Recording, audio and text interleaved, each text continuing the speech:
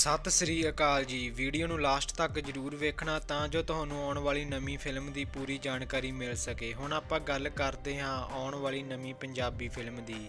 ਨਵੀਂ ਫਿਲਮ ਦੀ ਜਾਣਕਾਰੀ ਦੇਣ ਤੋਂ ਪਹਿਲਾਂ ਆਪਾਂ ਗੱਲ ਕਰਦੇ ਹਾਂ ਡੈਡੀ ਕੂਲ ਮੁੰਡੇ ਫੂਲ ਫਿਲਮ ਦੀ। ਇਹ ਫਿਲਮ 2013 ਨੂੰ ਰਿਲੀਜ਼ ਕੀਤੀ ਗਈ ਸੀ। ਇਸ ਫਿਲਮ ਵਿੱਚ ਡੈਡੀ ਕੂਲ ਦਾ ਰੋਲ ਪਲੇ ਜਸਵਿੰਦਰ ਭੱਲਾ ਕਰ ਰਹੇ ਸੀ ਤੇ ਮੁੰਡੇ ਫੂਲ ਦਾ ਰੋਲ ਪਲੇ ਅਮਰਿੰਦਰ ਗਿੱਲ ਅਤੇ ਹਰੀਸ਼ ਵਰਮਾ ਕਰ ਰਹੇ ਸੀ। ਇਹ ਫਿਲਮ ਬਹੁਤ ਵਧੀਆ ਰਹੀ ਸੀ। ਇਸ ਲਈ ਇਸ ਫਿਲਮ ਦਾ ਸੀਕੁਅਲ ਬਣਨ ਜਾ ਰਿਹਾ ਹੈ।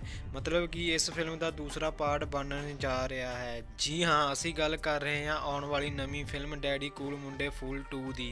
ਇਸ ਫਿਲਮ ਨੂੰ ਲੈ ਕੇ ਆ ਰਹੇ ਨੇ ਜੱਸੀ ਗਿੱਲ, ਰਣਜੀਤ ਬਾਵਾ ਅਤੇ ਜਸਵਿੰਦਰ ਭੱਲਾ। ਇਸ ਫਿਲਮ ਵਿੱਚ ਡੈਡੀ ਕੂਲ ਦੇ ਮੁੰਡੇ ਫੂਲ ਚੇਂਜ ਕਰ ਦਿੱਤੇ ਗਏ ਹਨ, ਜਿੱਥੇ ਕਿ ਪਹਿਲਾਂ ਡੈਡੀ ਕੂਲ ਮੁੰਡੇ ਫੂਲ ਫਿਲਮ ਵਿੱਚ ਫੂਲ ਮੁੰਡੇ ਮਰਿੰਦਰ ਗਿੱਲ ਅਤੇ ਹਰੀਸ਼ ਵਰਮਾ ਸੀ। ਪਰ ਹੁਣ ਡੈਡੀ ਕੂਲ ਮੁੰਡੇ ਫੂਲ 2 ਫਿਲਮ ਵਿੱਚ ਫੂਲ ਮੁੰਡੇ ਜੱਸੀ ਗਿੱਲ ਅਤੇ ਰਣਜੀਤ ਬਾਵਾ ਹੋਣਗੇ। ਤੇ ਨਾਲ ਹੀ ਅਰੂਸ਼ੀ ਸ਼ਰਮਾ ਅਤੇ ਤਾਨੀਆ ਵੀ ਨਜ਼ਰ ਆਉਣਗੇ। ਇਸ ਫਿਲਮ ਨੂੰ ਸਿਮਰਜੀਤ ਸਿੰਘ ਵੱਲੋਂ ਡਾਇਰੈਕਟ ਕੀਤਾ ਗਿਆ ਹੈ। ਇਹ ਫਿਲਮ 28 ਅਗਸਤ 2020 ਨੂੰ ਰਿਲੀਜ਼ ਕੀਤੀ ਜਾਏਗੀ।